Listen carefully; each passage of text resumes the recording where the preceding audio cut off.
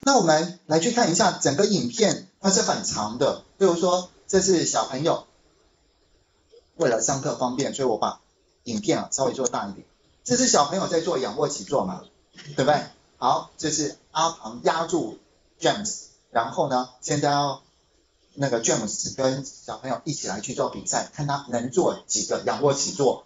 好，那接下来呢，我们再继续往后看。经过三十秒，经过好，那最后应该有一个结果。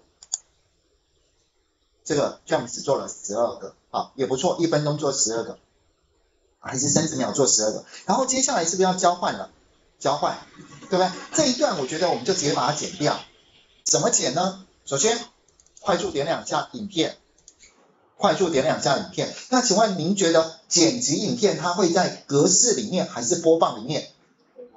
播放对，所以在播放里面，因为像刚刚那个外形的改变是在格式，这应该可以理解。那我们这这个影片的剪辑呢，它应该是跟播放有关系的。然后接下来这个图是绿色，绿色就是开始播放的意思，红色就是什么结束播放，所以直接点它，我们就直接把时间啊往前往前挪到什么呢？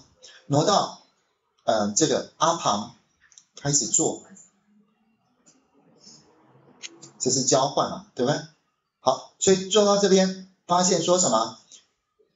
这个 James 做了十二回，我想这样变成一分钟的影片，然后点一下什么？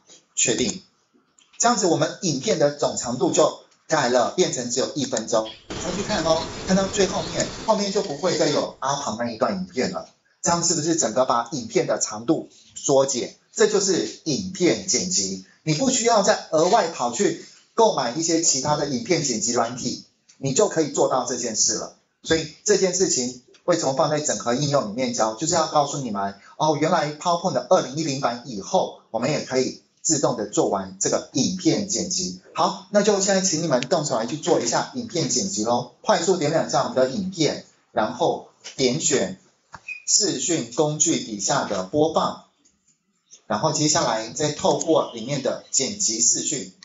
然后调整，完成我们的剪辑。